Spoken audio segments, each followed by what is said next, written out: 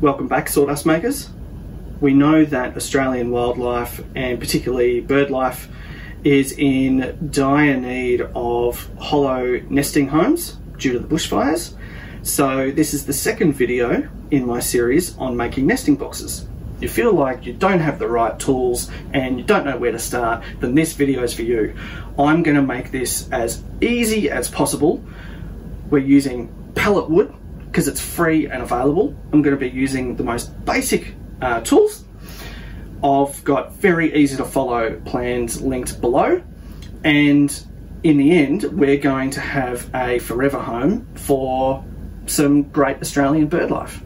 Two very common sizes of pallets and I'm going to use both. So if all you can get is this one, I'll show you how to use that to the best ability. If you get the other one, like this one, then I'll show you how to use that but I cannot be bothered trying to break this thing apart. Well, we're not going to. We're going to cut it up, which is going to be nice and easy. I'm confident that the most novice, handy person will be able to knock this over in a day. If you are skilled, then sure, still watch it. Maybe you'll learn something or maybe you'll just enjoy it. So instead of talking about how easy this project is, how about I just get to work and show you? Well, that's a little bit out there. Anyway, so this is the first standard pallet that we're going to cut up. So you can see the measurements there that we're going to get from this pallet if we just cut it up.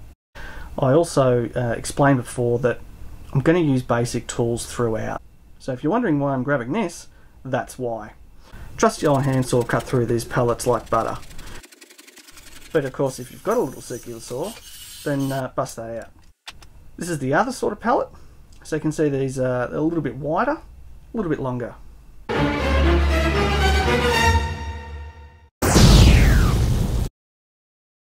Brute strength. Anyway, cut it up. Enough of the shenanigans. Hell of a man of the dust. Get rid of all that. So now sorting through all of the pieces for what I need for fronts and backs and sides and lids and bases and all that. Setting it all aside and we're looking good. So this is all going to be one box. Now we set out the panels that we need. Oh, look at that slow-mo handsaw. So we've done our cuts, we've got our back, we've got our front, and we've got our two sides. And then this is the timber for the base and the lid. Now, the reason why we won't cut those just yet is because if you're anything like me, cuts aren't accurate, especially if you're using a handsaw.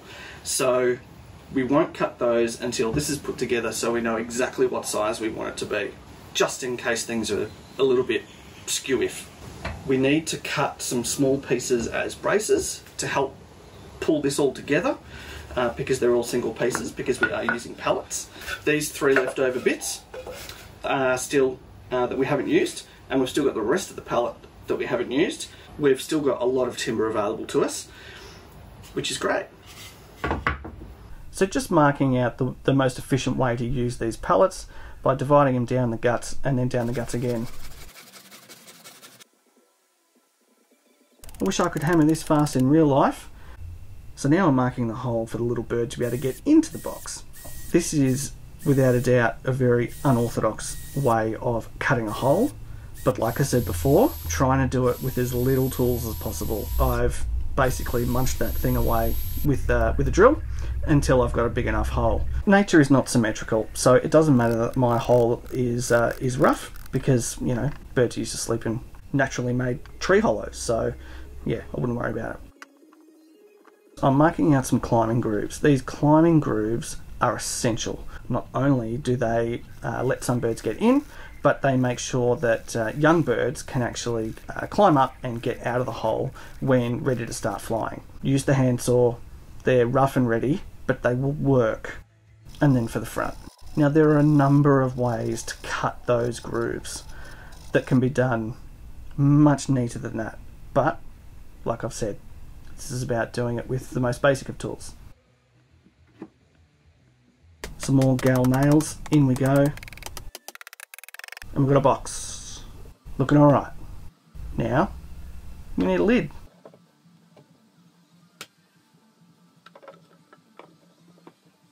There's some quick drainage holes. So for the lid, we've got those three pieces across.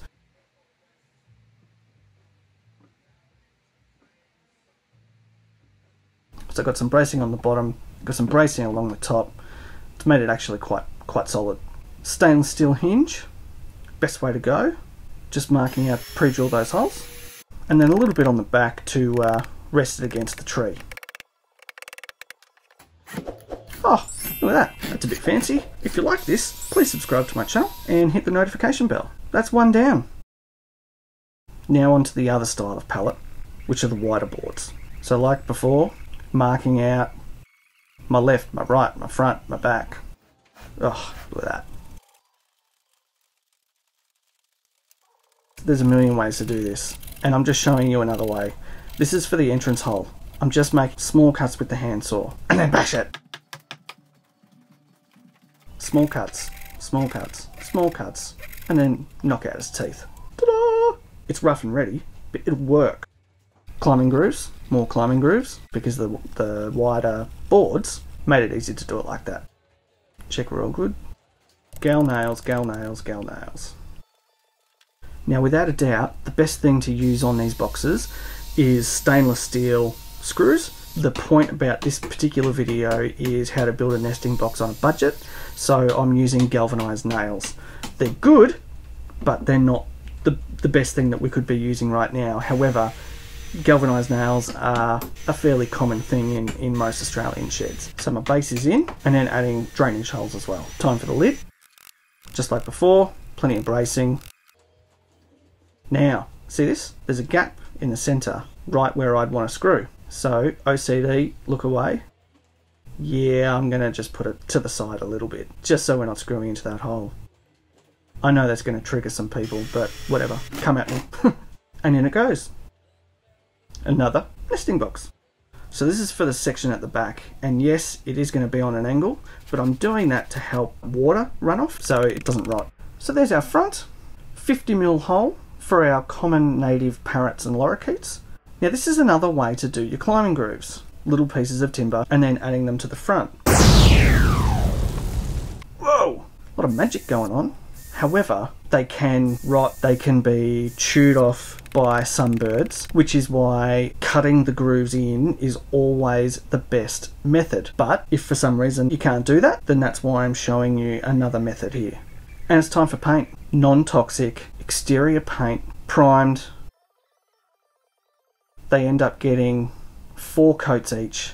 I get right in a lot of those gaps between the pallet boards to help seal it up from the weather. And we've got this light green colour because it should blend in to, to nature. Now, as always, don't get paint inside the box.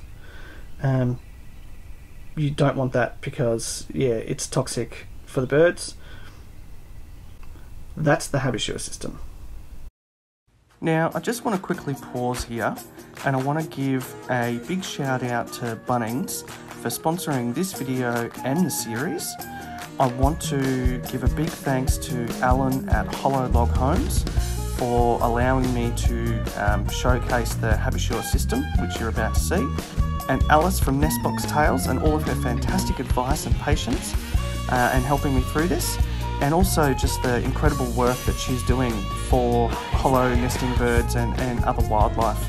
So what I'm about to show you now is what the experts agree is the single best method for hanging a nesting box and it's called the Habisure system. Hollow Log Homes, a business in Queensland, invented this system, they own it, have trademarked it, yet they have allowed me to show you guys how to do it and I want to thank Hollow Log Homes and I want to thank Alan. Go Tigers! So first things first, 3.15 mil galvanized wire. So to get started, just a few loops to get around, something to hang on to basically, you'll see in the end. Then we want six loops. A little more than the width of the pliers, Beautiful. One, two, three, four, five, six.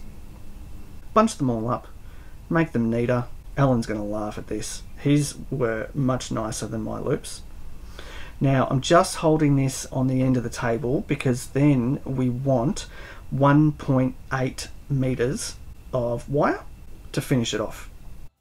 I should also say that Hollow Log Homes prefer the plastic coated galvanized wire, but I'm told that galvanized wire is still just as good. So there's my rough 1.8 meters. Snap that off. Then you want to straighten that up and pass it through the holes that you drilled earlier. Your bent section you want upright like that and then six more loops but you're bending the wire instead of the pliers and obviously it's a little bit dangerous if you're doing this indoors make sure you don't zap yourself on any overhead lights. Six loops just like before. Now it's almost ready to hang in a tree. So what I'm doing here a bit of hose. You can use a bit of poly or anything else.